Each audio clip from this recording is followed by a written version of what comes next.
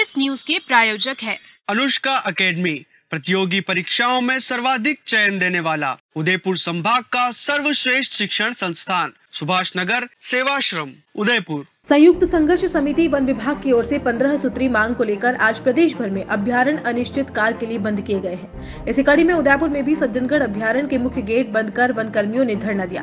धरने के दौरान कर्मचारियों ने अपनी विभिन्न मांगों को लेकर प्रदेश सरकार के खिलाफ जमकर नारेबाजी की।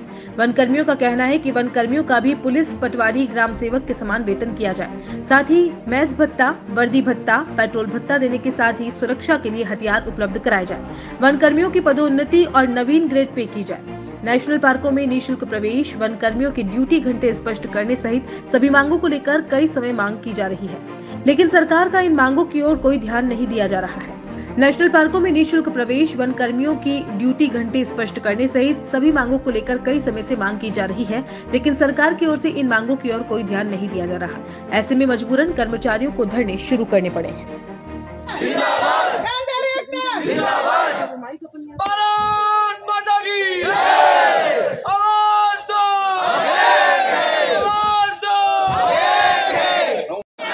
हम हमारा हक मांगते नहीं किसी से भीख मांगते हम हमारा हक मांगते नहीं किसी से भीख मांगते जो हम पे टकराएगा मिट्टी में मिल जाएगा जो हम पे सर, क्या नाम है आपका और क्या मामला है? किशन सिंह राणावत, संभागीय अध्यक्ष, उदयपुर।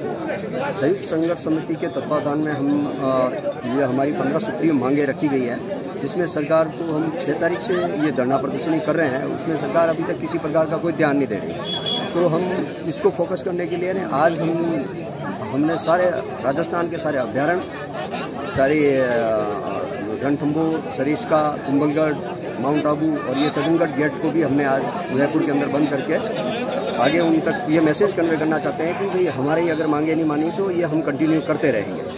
तो सर ये कब तक बंद रहेंगी ये सब पार्क वगैरह? ये पार्क जब तक हमारी मांगों को नहीं माना जाएगा तब तक ये हम कंटिन्यू इसको रखेंगे। भगवत भगवती लाल मीना जिलाध्यक्ष उदयपुर वन कर्मचारी जिला शाखा उदयपुर। क्या मामला है आज? हमारे पंद्रह सूत्री मांग सरकार को तीसरे चरण तक हमने जयपुर तक धरना प्रदर्शन किया था, लेकिन सरकार ने हमारी तरफ़ से कोई भी विचार विमर्श नहीं किया, जिसके चलते दिनांक से निरंतर प्रदर्शन हमारे उच्च कार्यालय में रखा। दिनांक आज हमने सज्जनगढ़ बायोलॉजी पार्क और रणथंबोर सरीस का टोटल रिज़र्व भी हैं, सारे बंद हो गए। और ये धरना प्रदर्शन हमारे संघर्ष समिति के आह्वान पर निरंतर चालू रहेगा। और आगे भी जब तक सरकार हमारी मांगे नहीं मानेगी, तब तक हम निरंतर प्रयास रहेंगे और ये सभी गेट बंद रहेंगे।